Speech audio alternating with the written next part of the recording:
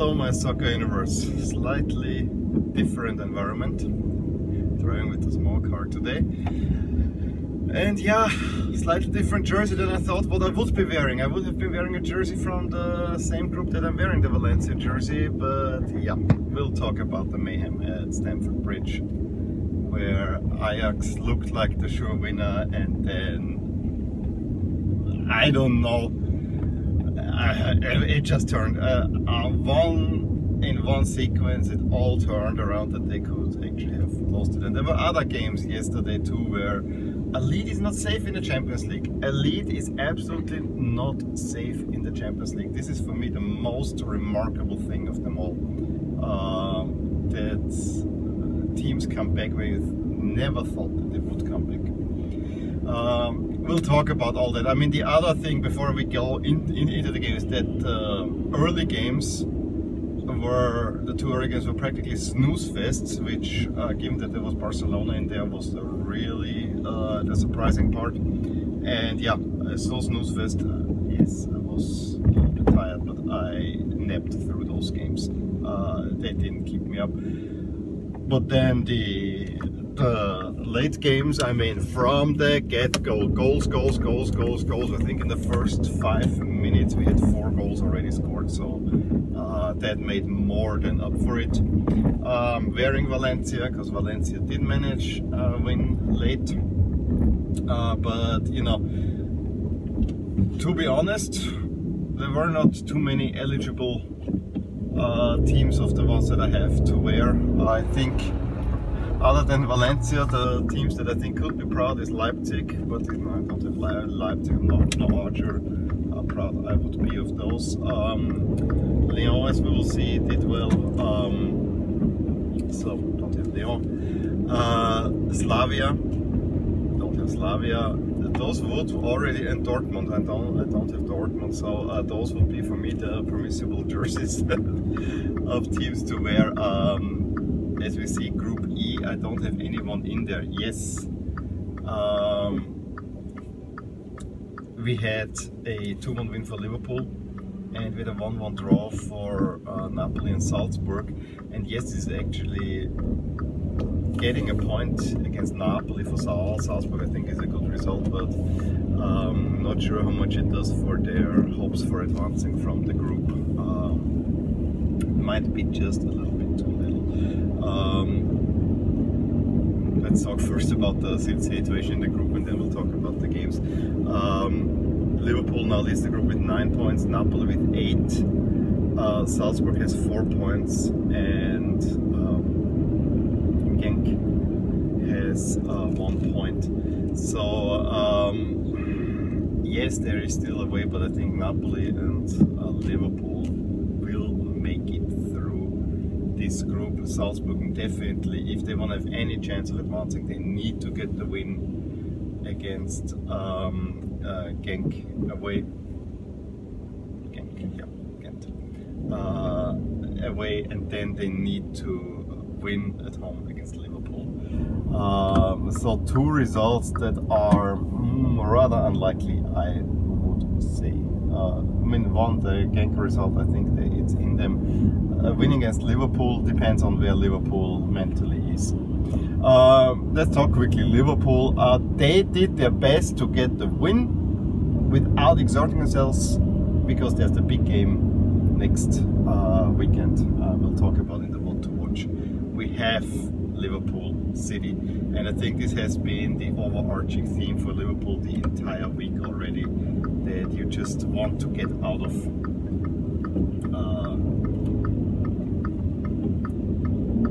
just want to get out of the um, those games with getting your wins with the favorite result 2-1 but um, you don't want to exert yourselves too much. So uh, Salah was playing Mane and Firmino were not. Um, it was Origi and Oxlade-Chamberlain uh, on the front. And they played with minimum effort. Yes created chances. Um, got with the first shot on goal, a really quirky goal through Wijnaldum. Um, it gotta be seen to be believed that that actually went in and there was no offside whatsoever. I mean, Milner was not offside and the ball counter comes in. Uh, and the defenders cannot, cannot get it away. And uh, Vanello puts it high in the corner from a short distance. It was uh, one of one of those really really weird goals. Uh, they have more chances. I think uh, seven nil shots or, or, or whatever when Genk with the first shot on goal. Uh, Samatta, I think uh, heads it in and makes it 1-1 and you're thinking mm -hmm, but Liverpool is Liverpool Oxlade-Chamberlain in the second half makes it 2-1 and then they played home safely. I mean again with as little effort as possible because there's the big game Sunday afternoon. Burnham that's the one that needs to be uh, that is the important one and everyone knows it. Um, Napoli Salzburg I actually I really like. They have played now for the fourth time this year. I really like those two teams playing uh, against each other because Napoli clearly is the better team. However, Salzburg, with the way of we were playing, if they take, take the chances, they can match Napoli punch for punch, and it's so it's such an intriguing match because goals are almost guaranteed. Uh, Napoli really is in crazy. If the goalposts were 20 centimeters wider, I think Napoli would have scored, I think, three or four more goals. I mean, they had twice hit the woodwork uh, yesterday. Um, have a big chance, and then in the 10th minute, they already get uh, Salzburg gets a penalty, and uh, this already saw Koulibaly. He was too late in the tackle. Uh, this was a penalty, and Haaland, in his only good action of the game puts it home, uh, make it 1-0. Uh, F, what comes then is a barrage of attacks for Napoli who completely dominate the game. Just cannot get their way in. I mean, as I said, they hit once the Wood in the first half. Uh, they have other chances to really get the goal, but they do not get it until, and in the meantime, Salzburg could even have uh, made a second one, uh, which would have been a little bit too much, to be honest. But uh, Hirving Lozano, just before halftime, uh, rewards Na Napoli with the equalizer. Fully deserved equalizer at that. There was a little uh, Insigne in the build-up. The ball touched his hand. It looked, they looked. I think I have to say yes, yes, they did a lot of common sense decisions most of the time, and so it was there as well. So it ends 1-1 uh, at the half. Second half, similar picture, except that Salzburg uh, goes back to their familiar system, uh, which gives the team more stability, and uh, Napoli cannot run as rampant. And the game is a little bit more still slight advantage Napoli. So Salzburg gets a lucky point uh, that keeps, as I said, the hopes alive, but not much more than that. Group F, um, snooze fest in Barcelona. I saw the time that Messi hit the post bar, whatever, whatever, the typical Messi run along the sideline. Then he cuts in um, and takes the shot I don't know, I have not seen highlights, but Barcelona seems to be a team without much confidence at the moment. Again, I don't want to use the word crisis. If you're first in the league, yes, you did not have a good string as well, but if you're first in the league, you're not in crisis. I'm sorry. But clearly, uh, Barcelona can improve, and it seems the over-reliance on Messi, whether designed by Messi or Valverde, I don't know. Um, it seems that if Messi is playing with Griezmann and Dembele, you can almost be sure that there's nothing happening. Uh, Messi needs at least Suarez in there. That's a pity. The Dortmund game though, that was one of those crazy games and a deadly sin for the Italians. I mean, Dortmund knows a win is good.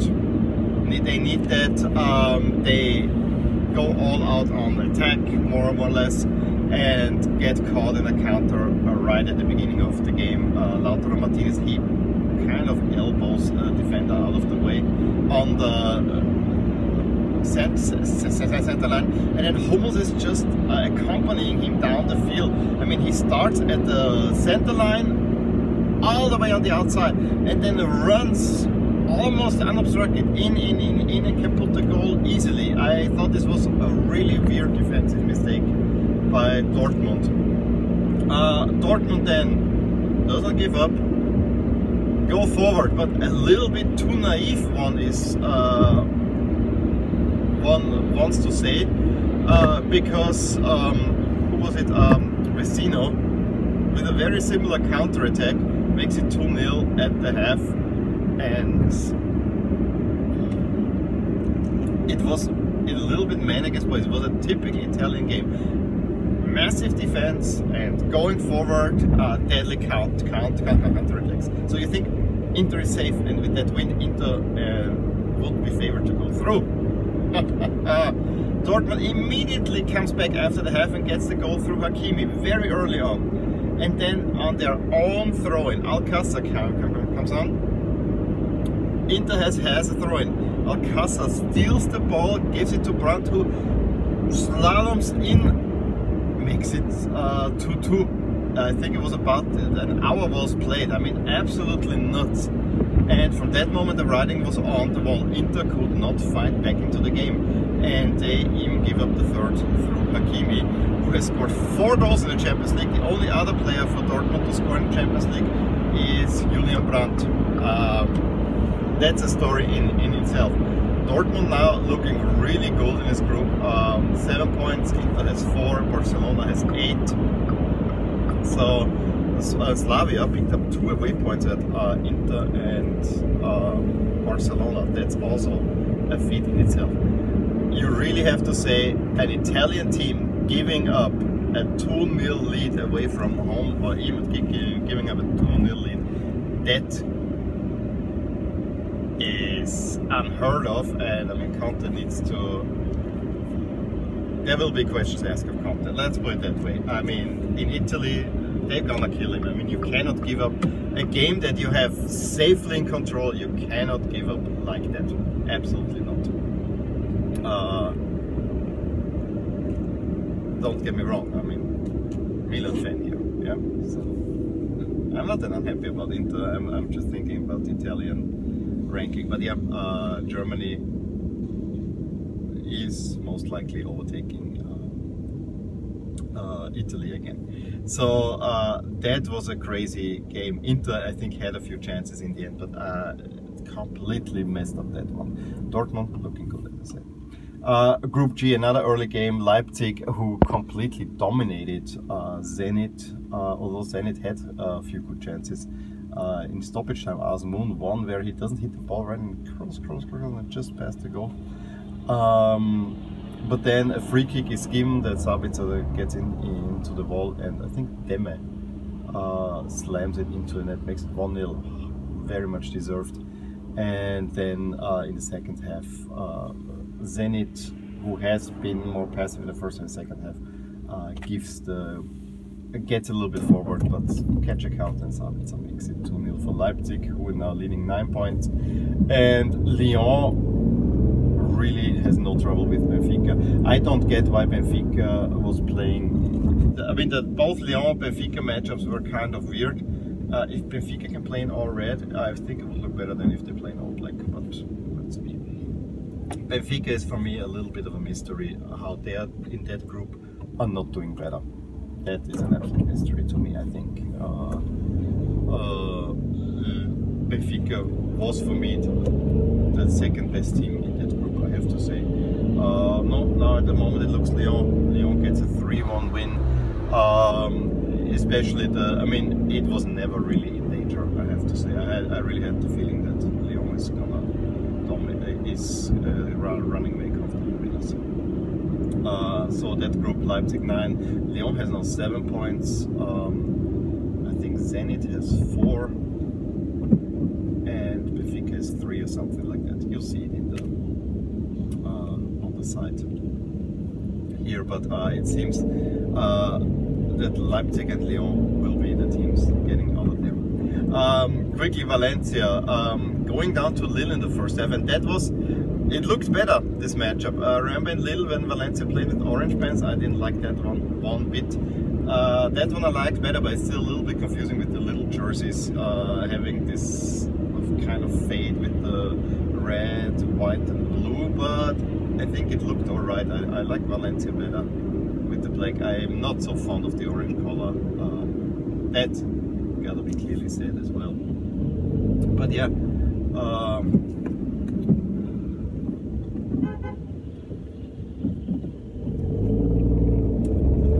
they go down 1-0 uh, in the first half in a game that they actually were slightly better in second half.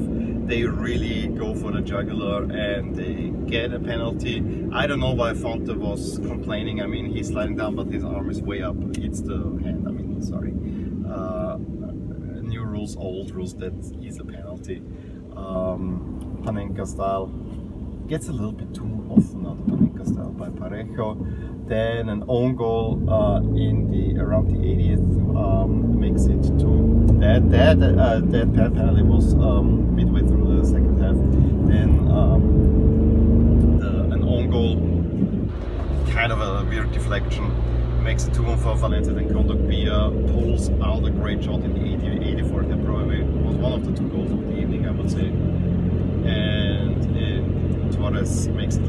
1. So Valencia get a win at uh, against Lille, which keeps them in contention because the game of the evening, bar none, was at Stamford Bridge. Um, first of all, yeah, I like that jersey was in blue and I like that Ajax played in their regular jersey. This is what I would have expected in Amsterdam as well. But the socks, I know, going crazy here. But black socks for Ajax don't look well. Why cannot Chelsea for once play in all blue and let Ajax play in all white and we're all happy? Uh, no one cares about the white socks for Chelsea that much, honestly. Uh, having that out of the way, Ajax takes a very, very early, early lead. Uh, kick, Quincy Promes, that is takes a wicked deflection by Abraham. And it's 1-0 for Ajax, I think in the second minute. Problem is that a minute later, Pulisic uh, goes into the box and is fouled. I think you can argue twice fouled. I was hoping that the, the VAR will find something, but it was a clear penalty. Jorginho, hoppity hop, makes, uh, puts the ball into the net, 1-1. Uh, but then what follows is a demonstration by Ajax. Um, and they score the goals. Quincy Promes uh, fr uh, from the think around the 20th and so on. Uh, nice crossing by Ziyech and Quincy Promes just uh, with his head goes down, puts it in the net. I thought it may have been offside, could have been if you take other lines like millimeter, millimeter, whatever. I was glad that it didn't because to me this looked, as I said, common sense decision. You look at it uh, with the with, with, with the naked eye, it doesn't look like that it's uh, offside position to me. And I actually think we should not use the lines. I think the referee should use uh, still pictures and then decide whether it's offside or not. Don't use those calibrated lines because they drive everyone nuts, honestly. But yeah, so we have uh, a 2-1 for Ajax. Ziyech then with a free kick almost from the corner flag. Puts it under on the post, it hits Kepa in the face and it goes in, into net. 3-1 Ajax. Gets even better. Uh, in the second half, Donny van de Beek, again from Ziyech, uh, gets a fourth one for Ajax and Ajax seems like cruising. And I have to stop doing this because you know I'm always thinking which jersey will I wear for, for the video and I was thinking oh yeah this is Ajax, this is Ajax all the way. Azpilicueta puts one back not shortly thereafter. Okay yeah 2-4. We know that Ajax gives up a few goals. The problem is that Ajax then uh, instead of calming the game down they went forward and then get caught again in a count countering and uh, Danny Blind makes probably one foul and a second one that was on Abraham that was was a second yellow card.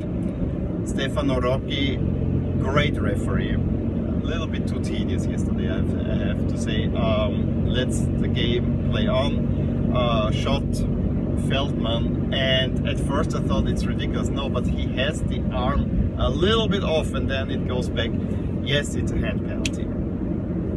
We can discuss about how uh, useful this rule is, and we all know that this new uh, handler with the silhouette is it's just uh, crazy. I just know when the referees calls that one, and in Italy this is called regularly, and if he goes to VR, it cannot be overturned. Where I have a problem with is that Veltman was already on a yellow and you give him a second yellow. So within 20 seconds, you give Ajax two red cards, two yellow reds. That to me was a little bit too much. Um, there we have in German saying Fingerspitzengefühl. This is where you have to say, okay, yes, by the letter, letter of the law, this is a, a yellow card, but okay, let's not. Um, I cannot give two yellow reds in short succession. I mean, at that moment, the game completely turned, and I knew two men down, Ajax now, and a penalty. That makes it 3 4. Jorginho did it. Uh, now at the other uh, corner. now, of course, chose the corner from, from, from before, but this, is the mind game with the referees. I knew 3-4, uh, Chelsea is gonna get at least a point out of it because I mean not only are two players out but it's two defenders that you cannot really replace and Ajax still tries to play nice of course they get shortly after the 4-4 and uh, Azpilicueta almost made it 5-4 but that one was ruled out by for a handball and to be fair I would not have ruled that one out I guess it touches it but uh, stupid. Again, okay, at least it stays 4-4. Uh, and how Ajax hung on, I didn't see much of that, I don't know. But that game was absolutely crazy. And I think, I'm not saying the referee did wrong here.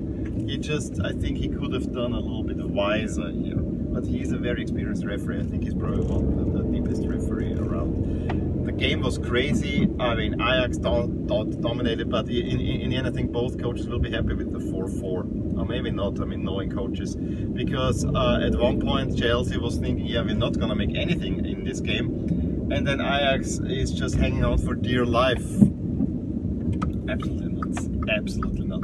But that's the Champions League. This is why the Champions League is the best competition. Now we have three teams in this group with seven points. The only thing I have to say is that um, to me it seems like that Chelsea and Ajax might be the better ones because um, they both have still games against Lille. So this might help them a little bit more. Uh, but yeah, I don't know. I don't know, to be honest, uh, how it will pan out because Ajax now has two defenders missing and I'm not sure if that will be enough to get the win at Lille they will need a lot will hinge on the uh, Valencia Chelsea matchup in the next round. I think that will tell us a little bit more about those because if Valencia wins that one and Ajax only gets a draw, then yeah, it will be difficult. Anyway, great matches. I'm afraid today will not live, live up to that drama from yesterday. I think groups E to H are the much more exciting ones than A to D but let's see how it will go today. There's also Europa League, Arsenal Guimarães in Portugal, of course. And yeah, let me know about the games yesterday. As I said, uh, the the two big results, the Dortmund one and the Ajax one. And yeah, I'm not so happy with the referees. Um, overall, especially the Ajax game, although I can understand what was happening. I just, maybe I'm not, I shouldn't say I'm not happy with the referees, except for the second red card. Uh, the handball rules are the, are the ones that really um, tick me off as of late. Uh, that is the one thing that VAR completely took over because most of those handballs that are given now would never have been given two years ago. That is something that I'm, I find is a little bit wrong. But hey. Uh, again, let me know what you thought about the games yesterday. Drop a comment below. Give me a thumbs up if you enjoyed this video. Again, a car video. Uh, and yeah, subscribe to my channel if you want to see more. I'll talk to you soon. Bye. Hey there, I really hope you enjoyed this video and if you did, here are some videos or playlists that you might enjoy too. Also, please consider subscribing to my channel as it will keep you updated with all things that are rotating in my soccer universe. And with that, I'm gonna wish you a wonderful day. Bye.